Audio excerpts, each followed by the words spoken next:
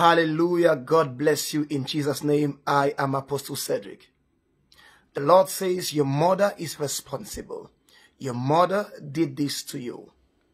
While you were growing up, you had this relationship with your mother and everything is fine. Everything was okay.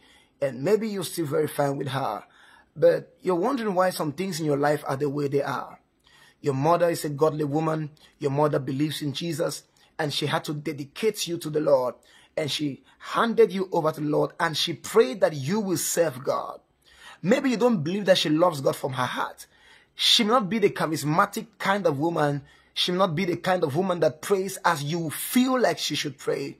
But she made a prayer on your life and said that you will serve God all the days of your life. And that is the reason why God has picked interest in your life because your mother prayed a prayer.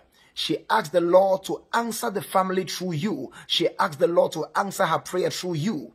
Now, your mother prayed this prayer. Why am I talking about this thing? Because she struggled a lot in life.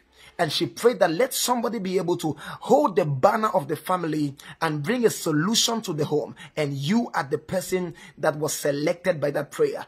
Your mother's prayer is responsible for the interest that God has in your life right now. She may not be a godly woman to you. She may not have the kind of fire you think that she should have. But one day in the secret, she made a prayer. And this is the result right now.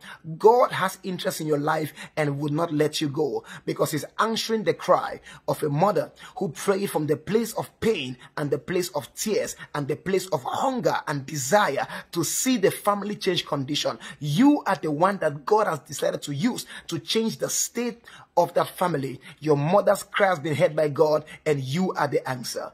God bless you in the name of Jesus Christ. I pray that you are blessed by this video. Do your best to like, share, and subscribe. And please, I will see you some other time. Have a wonderful day. For any doubt or clarification, get me in the comment section and I'm going to clarify your doubt. God bless you.